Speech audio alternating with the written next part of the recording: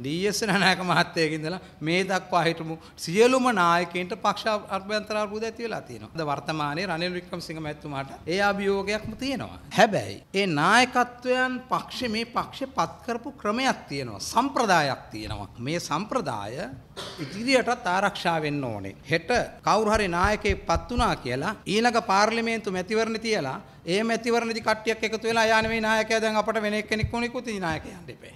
එක්සත් ජාතික පක්ෂ කඩාගෙන වෙන පක්ෂයක් පිහිටවන්න බලාපොරොත්තු වෙනව කියලා සමහර පාර්ලිමේන්තු මන්ත්‍රීවරු සඳහන් කරන එක්සත් ජාතික පක්ෂයට ආදරයක් නැති තමන්ගේ ආසනයට ගිහිල්ලා ඉදිරියේදී ජනතාව අතරට යන්න බැරි සමහර මන්ත්‍රීවරු එක්කෙනෙක් දෙන්නේ තමයි මේ ගැන වැඩියෙන්ම උනන්දු වෙන්නේ කියන එක සඳහන් කරන්න ජනප්‍රිය මාතෘකාවක් අරගෙන ඒ හරහා ඔවුන්ගේ පාර්ලිමේන්තු මන්ත්‍රී ධූරය රැක ගන්න තමයි ඔවුන් බලාපොරොත්තු වෙන්නේ